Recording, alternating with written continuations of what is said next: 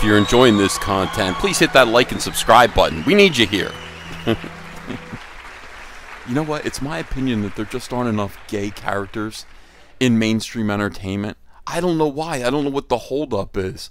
Uh, don't you guys realize June is passing us by? It's Pride Month. It's almost over, and there just aren't enough. Oh, what's this? Marvel announces first gay Spider Man just in time for Pride. Just caught the tail end of June. Welcome to Comic Artist Pro Secrets. It's me, Ethan Van Sciver, 29 year veteran of the comic book industry, and uh, I had to talk about this. Everybody else is talking about it too. We're going to take a, a deep dive into uh, Marvel Comics' first gay Spider Man uh, just in time for Pride. Yeah, there aren't enough gay characters in comics, and you know what else there isn't enough of? You know what else uh, we find in short supply? Actual creative people uh, who were willing to work for subsistence level wages in the mainstream. Uh, that being the case, and uh, therefore uh, it being an impossibility to create actual new characters that might be gay, let's just take all the characters that you love and turn them uh, into uh, celebrations of pride. What do you say? this Pride Month turns out that the Spider Verse is big enough for the LGBTQ plus community as Marvel welcomes, welcome, welcome uh, the first gay Spider-Man uh, into the fold. That's beautiful. Got Peter Parker. Look at this little. He's like, yeah, I don't know. I mean, yeah, all right, whatever. Uh, comic publishers like Marvel have been stepping up their game for Pride Month. We need more gays, and we need them now. Uh, so they've announced Web Weaver. Uh, this character here is named Webweaver. I've actually called him Skincrawler. I think Skincrawler is better, uh, and I hope that they maybe consider taking, uh, I don't know, my name, my idea here. Uh, all right, let's see. Sharing the news via Twitter. This guy, Steve Fox. Surprise! I had the huge gay honor of helping to co create Webweaver, who will make his debut in The Edge of Spider Verse number 5 this September uh, designed by the one and only Krista Christoph Ranka, Christopher Ranka, Christopher Ranka. now I'm I'm sad to to see that Steve Fox. I think he has, I think he has blocked me on the Twitter. Oh, he has. He's blocked me. That's a little preemptive, uh, but I don't think Christopher Anka has yet. Yeah, uh, blocked me. I don't even know you, Steve. Why? What the heck? Uh, but somehow you knew. Somehow you knew this day would be coming. All right, let's take a look and see what's going on with uh, this guy here. Now, Chris uh, Kris Anka actually did the uh, designs, I think, for Into the Spider Verse or something like that, which was pretty rock and roll. So, I mean, he's a good designer, uh, and yet, uh, what the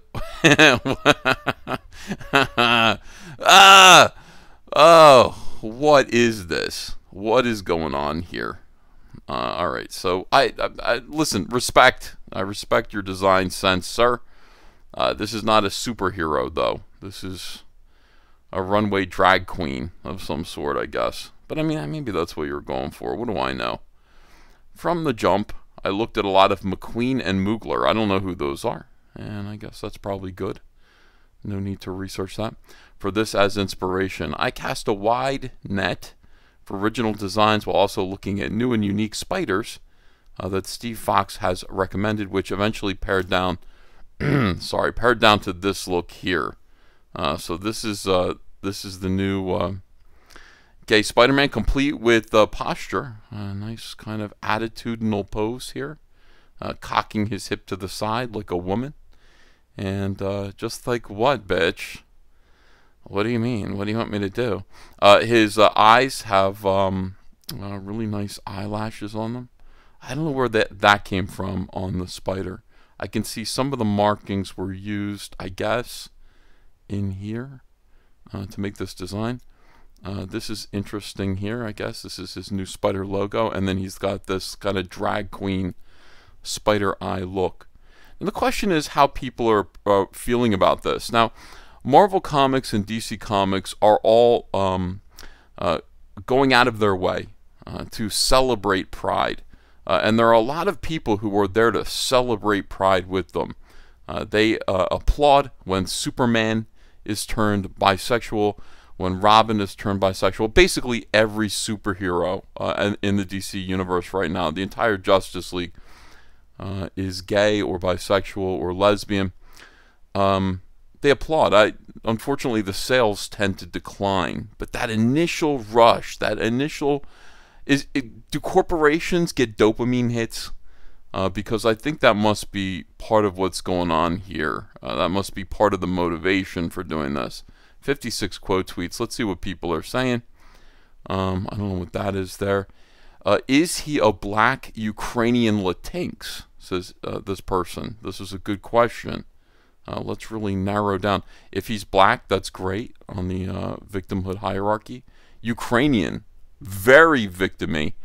Uh, and then also Latinx, uh, which, uh, you know, Latinx. This is such a fun Spider Man design. Fair enough. You know what? Mm mm mm. Uh, oh, Miss Weaver out here serving us. All right, so these are clearly typical Spider Man fans.